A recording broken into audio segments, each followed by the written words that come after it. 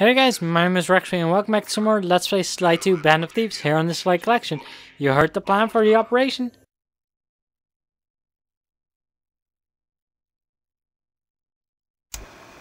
The Lumberjack Games are upon us. Now, despite Murray's study of the log chopping guide, none of us are skilled enough to beat Jean Bison at his own game. So, though it pains me to say it, we'll have to cheat. Murray, you'll participate in the power log chopping competition. Get us a good score, and then let Bison up for his turn. While he's chopping, I'll sneak the eagle egg into his trousers, and the protective parents should disturb his axe swings. Sly, given your ascension skills, I've signed you up for the ice wall climb. We'll keep Bison from beating your score by pulling him off the wall with some nearby grappling lines. And finally, I'll represent our team in the log rolling competition. With my knowledge of rotational mechanics, we're sure to get a stupendous score. Sly will be in charge of greasing Bison's log, so he has no chance of beating it. If you guys are ready, I say we head out and show these meathead lumberjacks what we're made of. So let's go out with Bentley and get it started. Okay, guys, let's head down there and win those talons from Jean Bison. Sly, try to keep a low profile when we get close. We don't want him to recognize you. And yeah, apparently uh, the other two are not really uh, recognizable enough to make it a problem. Excuse me, sir. We humble lumberjacks would like to participate in your lumberjack games. Think you got what it takes to win the Clockwerk talons, eh?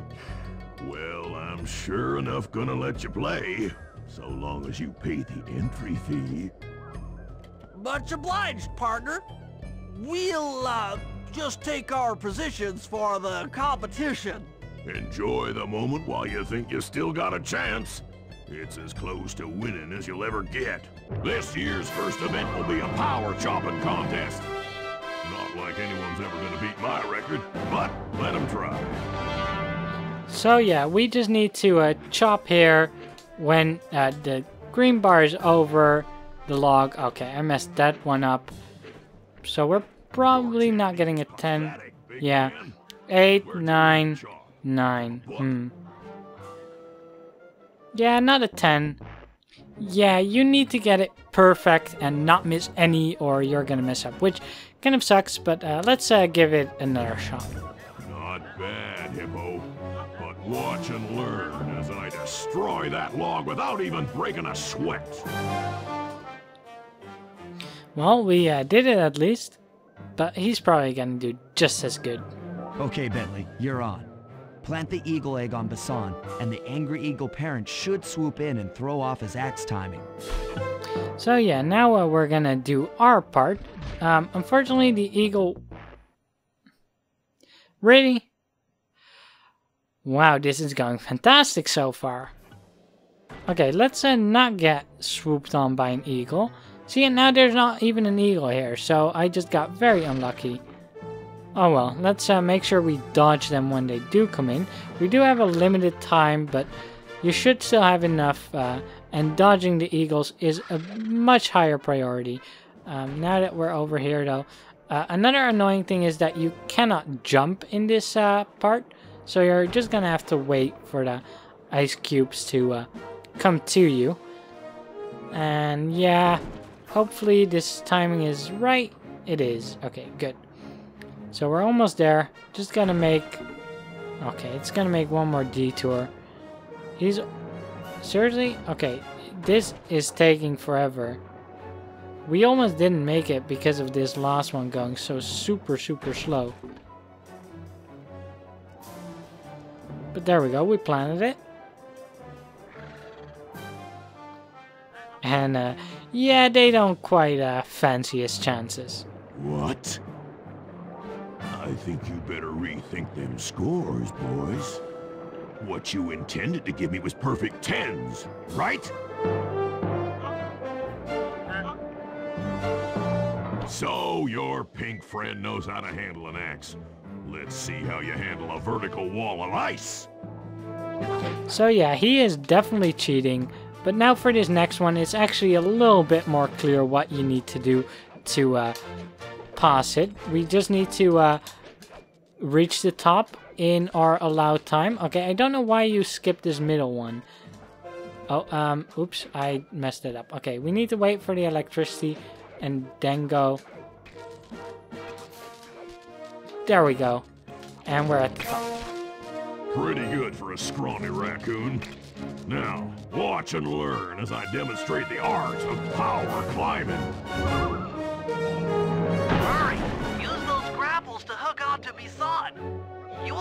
Him with all three lines to pull him off the wall.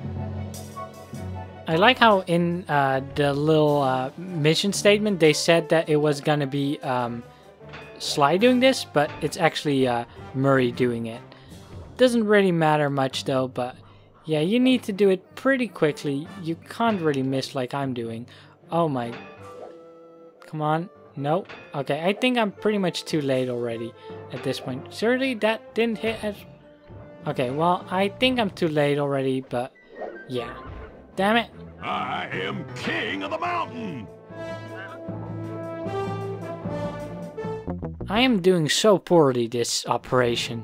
Okay, let's give it another shot. This time uh, we need to make sure we hook onto him. I am so bad with aiming grappling hooks.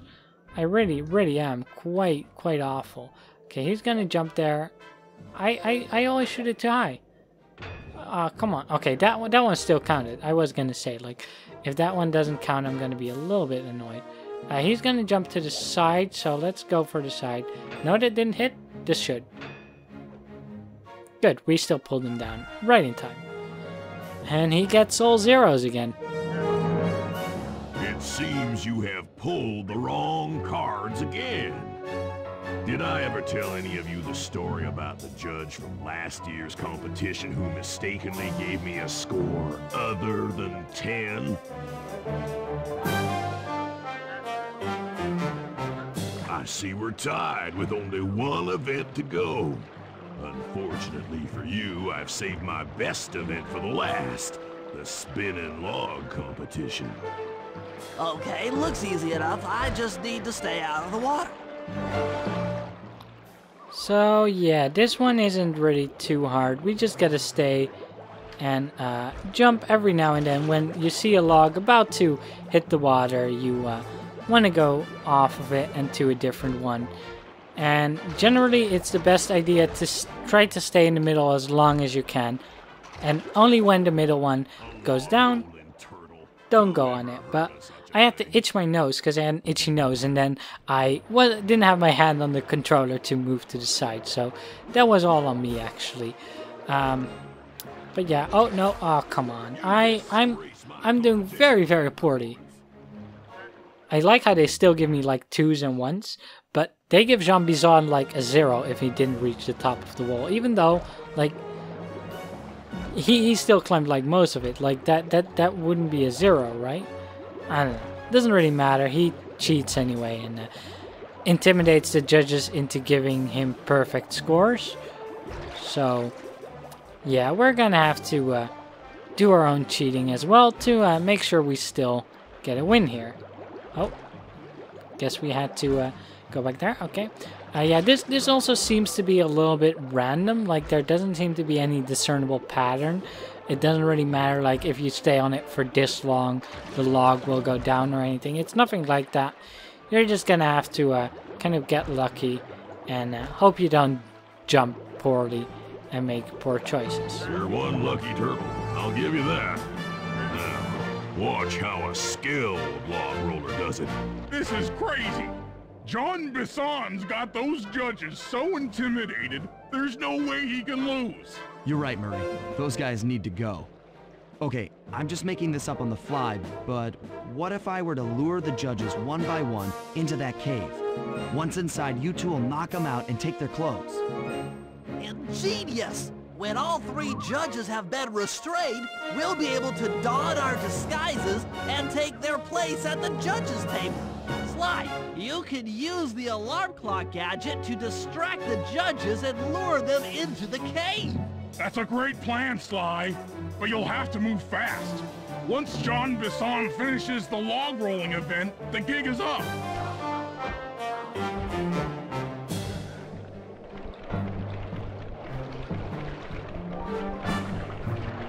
So we are pretty pressured for time here. So what we want to do is uh, throw this over. Um, I messed that up. Um, he should come over all the way over here. Come on, come now. And finally, one last one into the cave. And that's one down, two more to go. And Bentley taking it over. I, I wonder where he got like the fake beak, because that looks funny. Okay, it that that was close enough. Luckily, no. Why why aren't they not coming? Like seriously? They should come to this. Right? Yeah, there we go. Okay. And then in here? No? Okay, fine. You can come there first. Uh, oh my god, don't go back. Don't go back. You know there's no need to go back. What? And now he comes also all the way here? This makes no sense. Okay, let's try this again, and this time hopefully it doesn't do dumb things. We're gonna throw one over there, that should lure it over. And then we're gonna throw one in here, and that should lure him further over, right? Yeah. And that's one down, okay. So that's good. It should really work like that for all of them. Um, so let's throw this on here. That should get him over one step, and then we throw one in the cave, and that should get him for the next step. And then we just keep our distance, and there we go. Now Murray is gonna take over, and uh, he he looks even less like one of those judges. Like Bentley still is green at least, so he could potentially be it. But yeah, the other guy, or Murray, I mean, and Sly as well, they're not gonna look anything alike. But oh well, luckily uh, Jean Bison is pretty stupid, and uh, we'll probably get away with it.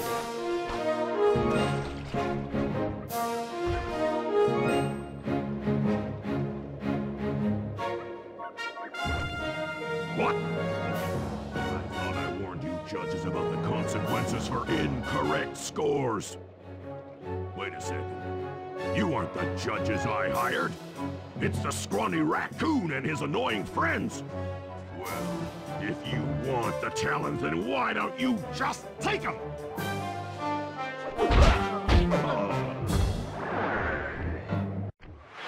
Oh, my aching head.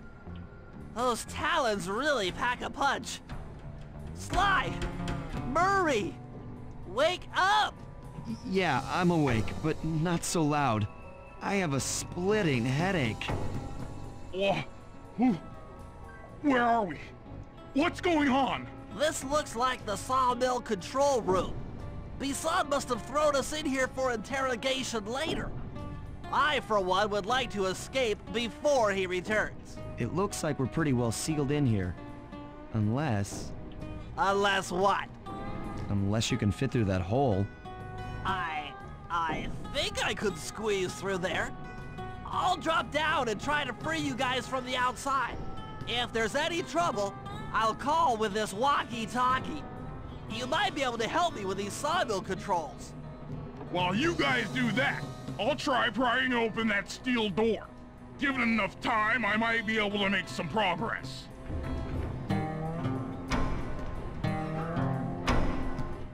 Sounds like a plan. Good luck, Bentley. And remember to shout if I can help you from up here.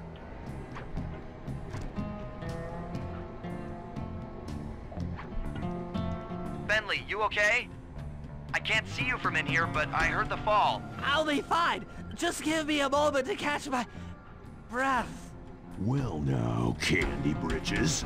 I should have figured a puny turtle like you'd find a rat hole to squirm through. Well, I just dropped my glasses, had to come pick 'em up.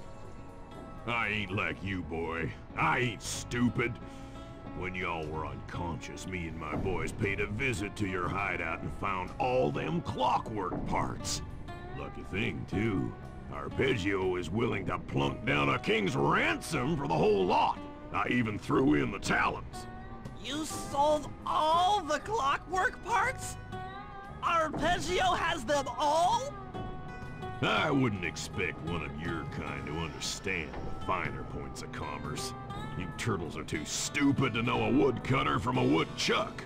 That's it! Time I showed you just how stupid we turtles really are. Sly, on my command, I hear you. prepare yourself, Bison. En garde! Okay, Walnut. Get ready for a smushing. And we actually have a really cool uh, thing here uh, because, well, yeah, we can uh, like have Slide drop all of these things and stuff like that. I'm doing really poorly at the moment, but yeah, you actually use all of the things to um, attack him, and that is so cool. Uh, I just always forget what is which one and then mess it up. But yeah, uh, square for fire basically. I think it is circle for log. Uh, so let's see if we can get him underneath it. There we go. See, that works. And, oh, right. That, puny little turtle. Well, we shouldn't run into him, of course. Okay, let's uh, give this a new try.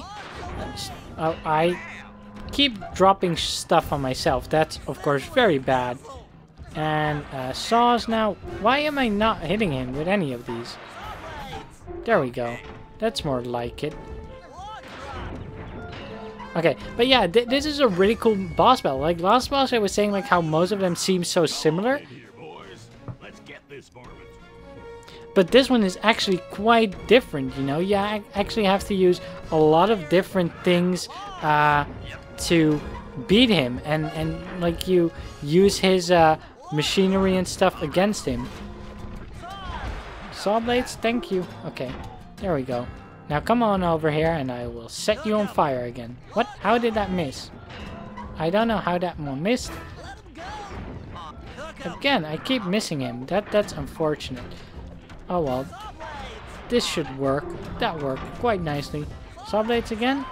There we go. And uh, yeah, it's pretty cool. Although it does uh, take a while. It would be a little bit better, I think, if he took a little bit more damage from certain things. Um, to make this battle go by a little bit quicker because it does sometimes feel like it drags on a little bit.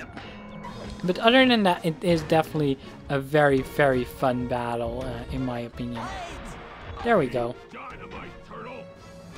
And this is the final phase, and he's gonna also start chucking dynamite at me, so that adds, you know, another uh, dimension of having to dodge things by him. They also come out pretty quickly, so that is pretty dangerous. It's not like you have a whole lot of time to dodge them, um, but it still is pretty easy. Luckily, you don't have to be close to him to actually um, Come out, boys. Let's get to killing. to actually hurt him because you hurt him from a distance essentially. Come on, fire, no log. There we go. Oh, I got hit into that. That is bad. Okay, come on here, saws. Oh, I ran into that. Oh, I'm doing so poorly. Okay, let me just do this off screen.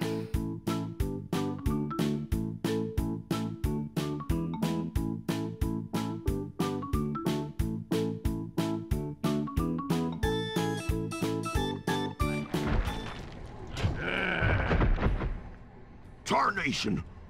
I've been done in by some four-eyed turtle? Times have changed. Once again, brains triumph over brawn. Good job, little buddy. That was some fast thinking. Don't forget about me.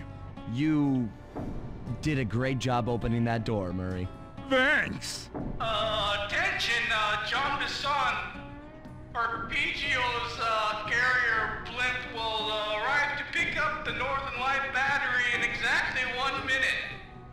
Okay, enough patting ourselves on the back. If we're going to get the Clockwerk parts back, we need to get onto that blimp. The silo battery isn't far. If we run, we can make it. Enough talk, let's move. Shake a leg. That blimp's on its way. So yeah, finally we uh, need to actually go over there. Uh, we have to run, of course, with the slowest one, Bentley. But one funny thing is, in the end, I beat that mission by just using fire the entire time and circling around one fire pad. That's really the easiest way to do it, in my opinion. But here we are.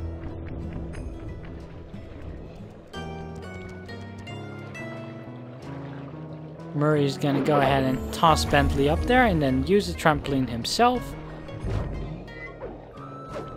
And now we're all gonna get in the battery.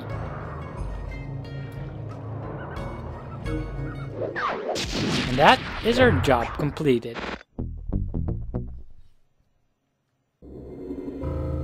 As we shut ourselves into the Northern Light battery, it became black. For a few long minutes, we just sat there in darkness. No one dared to talk for fear that Jean Bison's men might discover where we were hiding. Time seemed to have stopped. And then, we felt it. We were being lifted up to Arpeggio's blimp. It was all so strange. The focus of all our schemes had been stolen from us. Our Clockwerk parts were gone. Looking around the inside of the battery, I knew we all felt it. Failure. I was twitchy and ready for action. Any action. Bentley tried to make some sense of the situation by drawing up meaningless plans. But Murray, Murray took it the worst. He just sat there sobbing while the team van floated away over the horizon. That van was his life. I knew I'd have to find a way to make it up to him. And that's that for episode 7 of the game. So, next time, we're gonna go ahead and play episode 8. But that's gonna do it for this episode. Thank you guys very much for watching. If you enjoyed it and you want to see more, then please do consider subscribing to my channel down below. And while you're down there, maybe leave a thumbs up too. See you guys next time.